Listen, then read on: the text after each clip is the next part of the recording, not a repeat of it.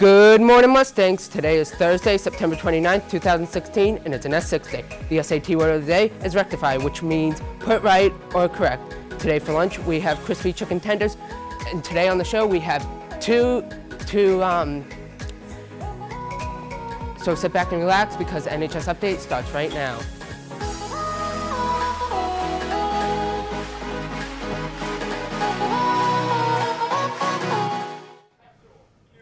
Good morning, Mustangs, and welcome to the show. I'm Mary Erickson. And I'm Ron Marshalsea. National Honor Society members have a mandatory meeting on Tuesday after school in the GSU Lecture Hall. If you cannot attend, please see an officer, Mrs. Crimmings, or Miss Newman before the meeting. Today, the ninth grade election is being held during lunch.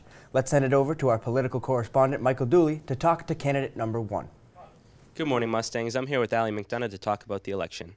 So, Allie, what's an issue at NHS that you care about? Um, one issue is that a lot of people aren't really involved. Like student council, we need more people just to represent us. All right, and uh, what's your agenda and some of your plans?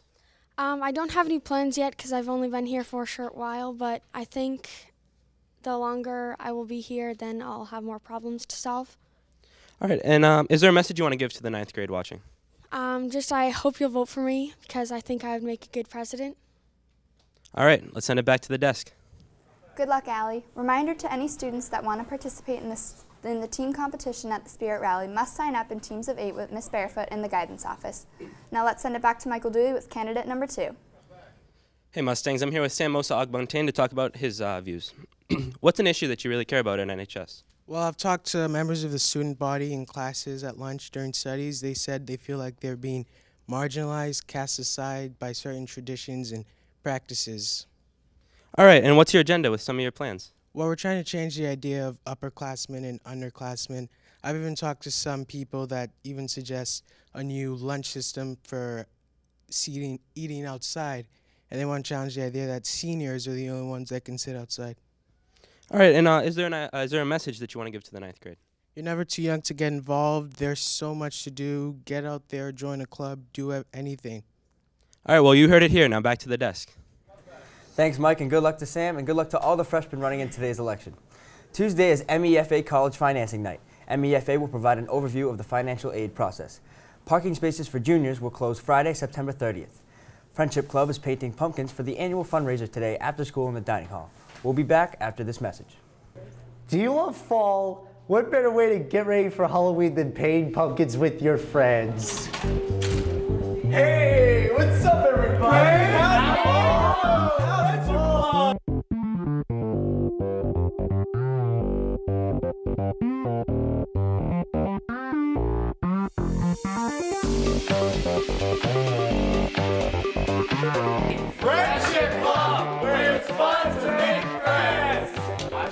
Attention juniors and seniors, the guidance office has arranged for two local employers to visit NHS in early November to go over student resumes and help students overcome the anxiety of applying for employment by practicing face-to-face -face interview skills.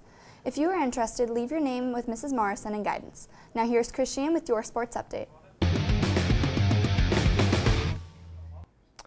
Good morning, Mustangs. Yesterday, golf had a tough loss to Milton. Today for games, boys soccer is playing Framingham at home. Girls soccer and volleyball are away at Framingham, and golf has a match against Milton at home. Well, that's all I have today. Now back to the desk. Well, that's all we have for today, and don't forget that tomorrow is Norwood Pride Day. And be sure to check us out at Mustang.media or hit us up on Facebook, Twitter, Instagram, or Snapchat. Have a great day, Mustangs.